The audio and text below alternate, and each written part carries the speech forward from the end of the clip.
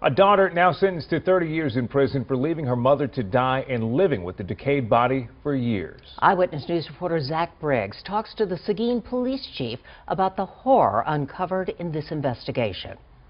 Horrific is the only word that really comes to my mind. It's been over a year since Seguin police discovered the skeletal remains of 71-year-old Jacqueline Creighton inside this house after investigating claims of child abuse. This is the, the, things that make TV shows out of and movies. You, you don't think something like this could ever happen. Jacqueline's daughter, Delisa Creighton, now pleading guilty, admitting she left her fallen mother on the bedroom floor to die, her body left to rot for three years.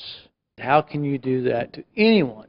Let alone your own blood, your mother, the, the person that gave birth to you, that has raised you uh, and, got you to where you are in life, uh, to simply shut the door and pretend like uh, the person on the side door doesn't need any help uh, is just unfathomable. Delisa convicted of multiple felony crimes, two related to injury to elderly and one for injury to a child. That child being Delisa's daughter, who according to court documents was prevented from attempting to help her grandmother it's hard to imagine, uh, again, what that child grew up in, spent multiple years of her life in, and we're glad to have this behind us. We're glad the defendant accepted responsibility and now will be spending uh, probably the rest of her adult life in prison. Police Chief Terry Nichols says Jacqueline, who worked for Seguin ISD for 35 years, touched the lives of many.